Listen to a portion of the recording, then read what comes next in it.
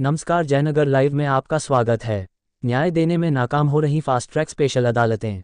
यौन शोषण के पीड़ित बच्चों को है न्याय का इंतज़ार। मधुबनी जिला के खादी भंडार के कैंपस में ग्राम विकास युवा ट्रस्ट मधुबनी के द्वारा कार्यालय परिसर में प्रेस कॉन्फ्रेंस का आयोजन किया गया। इस मौके पर ग्राम विकास युवा ट्रस्ट मधुबनी के प्रबंध निदेशक नरेंद्र कुमार सिंह ने कहा कि राष्ट्रीय अपराध रिकॉर्ड ब्यूरो एनसीआरबी की रिपोर्ट के अनुसार केंद्र सरकार की तमाम नीतियों, प्रयासों और वित्तीय प्रतिबद्धताओं के बावजूद पॉक्सो के मामलों की सुनवाई के लिए बनाई गई विशेष त्वरित अदालतों में 31 जनवरी 2023 तक देश में दो लाख तैंतालीस हज़ार दो सौ सैंतीस मामले लंबित थे। अगर लंबित मामलों की इस संख्या में एक भी नया मामला नहीं जोड़ा जाए तो भी इन सारे मामलों के निपटारे में कम से कम नौ साल का समय लगेगा। बिहार की बात करें तो यहाँ पॉक्सो के लंबित मामलों के निपटारे में तकरीबन 26 साल का वक्त लगेगा। साथ ही 2022 में देश में पॉक्सो के सिर्फ़ तीन फ़ीसदी मामलों में सजा सुनाई गई। ये चौंकाने वाले तथ्य एक शोधपत्र justice awaits an analysis of the efficacy of justice delivery mechanisms in cases of child abuse से उजागर हुए हैं जिसे ग्राम विकास युवा ट्रस्ट ने जारी किया है। इस शोधपत्र को India child protection fund ICPF ने तैयार किया है। आईसीपीएफ और ग्राम विकास युवा ट्रस्ट, बाल विवाह मुक्त भारत के सहयोगी संगठन हैं।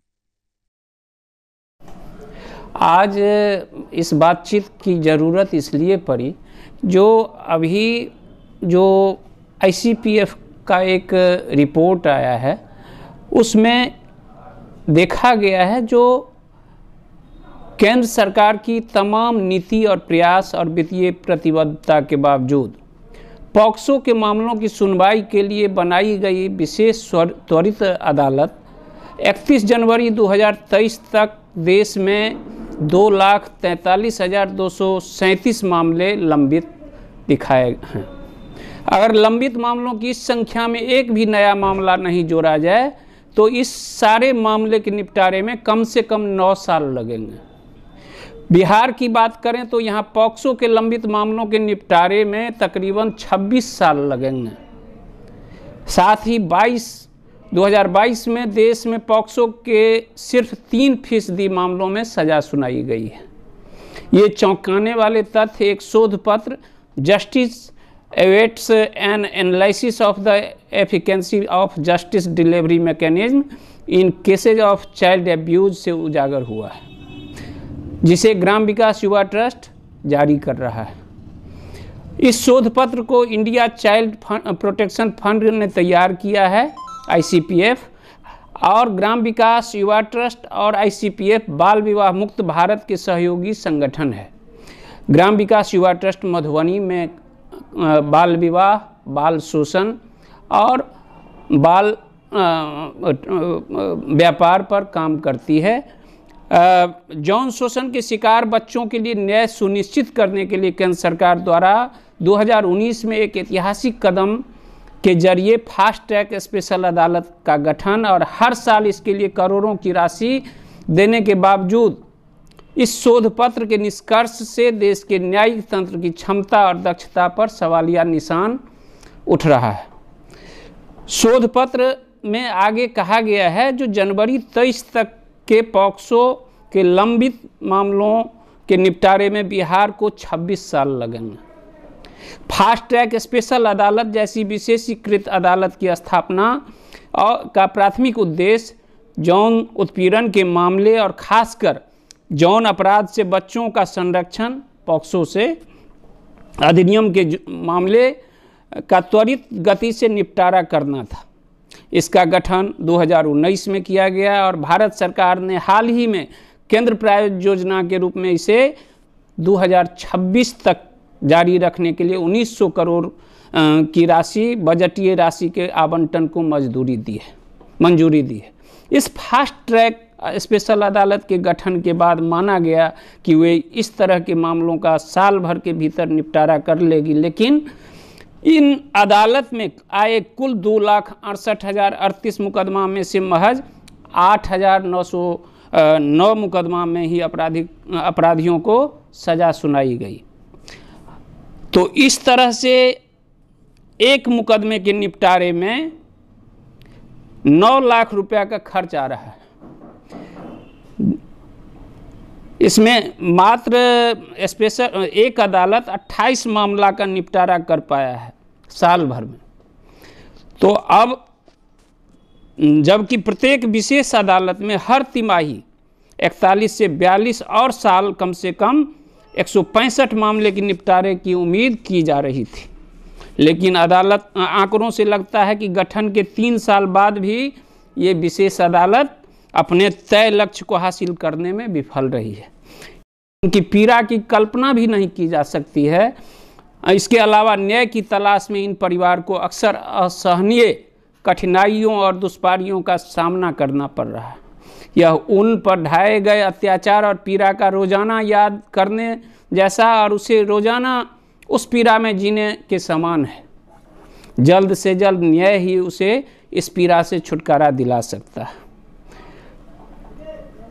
चार हज़ार चार सौ बयालीस नाबालिग लड़कियों का रोज़ाना बाल विवाह अंतर्गत नया शादी का जोड़ा पहनाया जाता है। इसका मतलब है जो हर मिनट तीन बच्चियों को बाल विवाह के नर्क में झोंका जा रहा है। जबकि अपराध, राष्ट्रीय अपराध रिकॉर्ड ब्यूरो एनसीआरबी की हालिया रिपोर्ट कहती है कि देश में बाल विवाह के रोज़ाना सिर्फ़ तीन मामले दर्ज होते हैं। आईसीपीएस के संस्थापक भुवन विभू जी ने बाल विवाह को रोकने के लिए देश में मज़बूत नीतियाँ, करे कानून और पर्याप्त वित्तीय प्रतिबद्धता के बावजूद सजा की मामूली दरों को गंभीर चिंता का विषय करार दिया है। भुवन रिभू जी ने कहा है, कानून की भावना को हर बच्चे के लिए न्याय में रूपांतरित होने की ज़रूरत है। अगर बच्चों के यौन शोषण के अपराधियों में महज तीन प्रतिशत को ही सज़ा मिल पाती है तो ऐसे में कहा जा सकता है कि कानून निरोधक उपाय कारगर कारगर नहीं है, नाकाम है। अगर पीड़ित बच्चों को बचाना है तो सबसे ज़रूरी चीज़ यह है कि बच्चों और उसके परिवारों की सुरक्षा की जाए, उनके पुनर्वास और क्षतिपूर्ति के इंजाम किए जाएँ।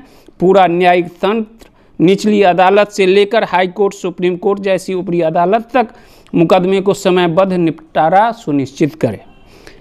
इसी में सर्वप्रथम सभी फास्ट ट्रैक, स्पेशल अदालत संचालन हों और वे कितने मामलों का निपटारा कर रहे हैं, इसकी निगरानी के लिए एक फ्रेमवर्क तैयार हो। इसके अलावा इन अदालतों से संबंध रखते हुए पुलिस से लेकर जजों और उसका पूरा अदालती स्टाफ को पूरी तरह सिर्फ़ इन अदालतों के काम के लिए रखा जाए, ताकि ये प्राथमिकता के आधार पर मामलों को अपने हाथ में लें और यह फास्ट ट्रैक स्पेशल अदालत का कामकाज सार्वजनिक दायरे में लाया जाए। इसी के साथ हम बाल विकास मंत्रालय, कानून मंत्रालय, राष्ट्रीय अपराध रिकॉर्ड ब्यूरो के आंकड़ों पर आधारित यह रिपोर्ट है। यह मैं अपने तरफ़ से कोई रिपोर्ट नहीं बोल रहा हूँ। और मुझे आप लोगों से भी आग्रह है जो इस विषय को आप लोग अपने स्तर से उठाएँ और इस बाल अपराध को रोकने में, को सक्षम बनाएँ इस तंत्र को। सर, आप अपना परिचय दीजिए मैं नरेंद्र कुमार सिंह ग्राम विकास युवा ट्रस्ट के प्रबंध निदेशक ग्राम विकास युवा ट्रस्ट, मधुबनी जिला में बाल अपराध जो बाल शोषण, बाल व्यापार और बाल विवाह जैसे कुरीति है, उसके रोकथाम के लिए काम करती है और कैलाश सत्यार्थी चिल्ड्रन फाउंडेशन के साथ मिलकर यह काम हमने बीरा उठाया है, जो मधुबनी में, जो इसमें कमी हो, ये यहाँ से समाप्त हो धीरे धीरे कुप्रथा, इसके लिए हम लोग काम कर रहे हैं। धन्यवाद। अगर आप लोग भी मधुबनी जिला या जयनगर से हैं तो जयनगर लाइव को ज़रूर सब्सक्राइब कीजिए, क्योंकि ये छोटे बड़े हर न्यूज़ को कवर करते हैं। तो लाइक कीजिए, शेयर कीजिए, सब्सक्राइब कीजिए। Thank you.